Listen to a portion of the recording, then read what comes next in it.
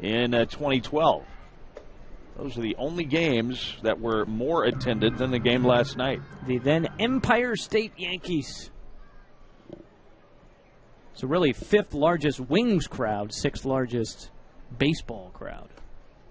And the third largest Wings crowd for a regular season game. Yeah, because the, two, two Orioles were yeah. just exhibition games. It didn't count. One on one to Park. Curve down and in, two and one. That's a great point. There's, you know, it's not the first game of the ballpark. There's no superstar who's rehabbing here. It was just a great day at the ballpark. Baseball, the 4th of July.